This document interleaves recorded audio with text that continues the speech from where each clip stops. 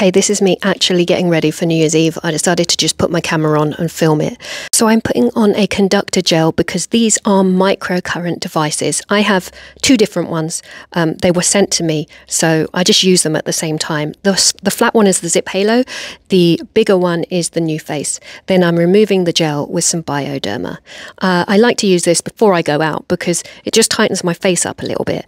Then I'm onto my Shiseido skincare. This is the Ultimune um, line, which I really, really like.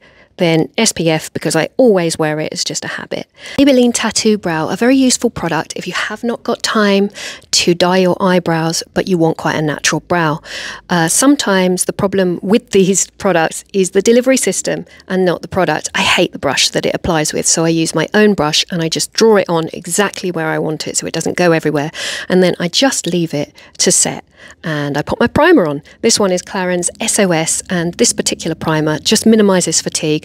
I'm really, really tired all the time, so pop that on. Now, uh, the tattoo brow should be set, so you can just remove what's left and your brows will be dyed. A little bit of Bioderma to take off residue, and look, lovely, dark, done brows. Very easy in minutes. Then uh, Glossier this is the Perfecting Skin Tint, and I'm using this because I want to go for a bit of an eye and a lip.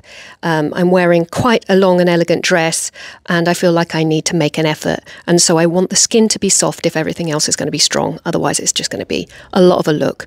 Uh, what you missed there was the Murad Wrinkle Corrector, which I use on my brow uh, because I have a lot of fine lines there and it just cancels them out. And then this is the Glossier Stretch Concealer. I'm just using that just in little places where I might need it, but not all over the face, so I can keep the skin still quite light. Laura Mercier Tinted Moisturiser uh, Bronzer. The tinted moisturising bronzer in the colour Sunbeam.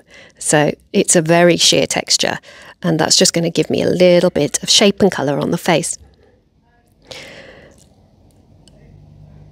Don't know why there's so much footage of that. Then this is a discontinued product. Uh, Tom Ford Cream and Powder eyeshadows. I think they still make these, but not in this colour. I just wanted something that would give me um, a little bit of a sort of silvery hue without being silver.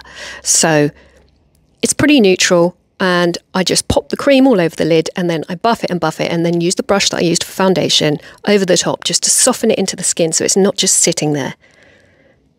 Uh, Laura, uh, sorry, Victoria Beckham, uh, this is the Night Flash pencil and I'm going to uh, create a little bit of a wing with this pencil and then use a brush to really, really blend it so it's a bit softer than that. I think I went a bit over the top with it, to be honest. But there we go. Keep applying and blending until you get the exact shape you want. There we go sort of. Um, lash curlers, these ones uh, are from Guru Makeup Emporium. You just step them across and then you can curl the outside edges if you want to lift there, or you can do the whole lashes. I think I'm just doing the outside corners here. Uh, mascara is Ruby Hammer. This is the lash and brow.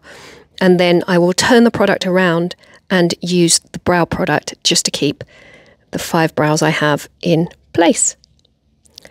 Uh, this is a Rare Beauty lip pencil, which in the colour strong. I really like it for freckles. And I do tend to do this, just draw a few in and then just soften it because if I'm not going to wear a lot of blusher on my cheek, it also gives me a little bit of colour on the cheek. Um, shaping the lips with the NYX Nude Beige pencil here. And then we'll go back to our mascara and do the bottom lashes. Don't know why there's so much footage of this, such an unflattering shot. Uh, Oh, and then I'm softening the lashes with a brush. I like it quite soft. Now, this was very brave. You'll have to stick with me on this one. The father of my children, his girlfriend bought me this for Christmas. Um, imagine buying somebody who wears red lipstick and has so many a red lipstick and actually picking one that I didn't have. Uh, well done, Uta. Good job. This is a big, large plate GHD, and I don't like to do a lot of my hair if I have so much makeup on.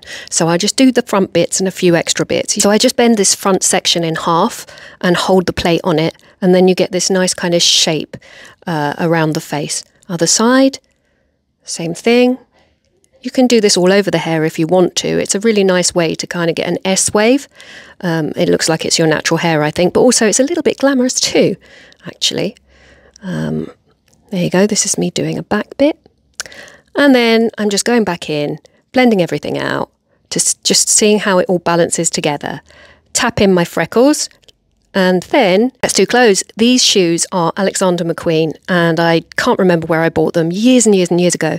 I think they're from a 2004 show or something like that. This dress I bought from uh, Vestiaire. It's an Ellery dress, and I got it at a fraction of the price. It was probably like 20% of the original price. I think I paid 200 quid for it, which is still a lot, but it was like 1800, I think. Um, bit of Sam McKnight, uh, Cool Girl, and then that's it. This is the entire outfit. There you go. There's my cute shoes. And then we might as well do the jewelry. I put all of my jewelry that I have on and then I attach charms to it, all sorts of bits and bobs, and I just wear it all at once. And it gives people major anxiety because it all tangles together, but I just like it. But that's it, guys. Thanks. Bye.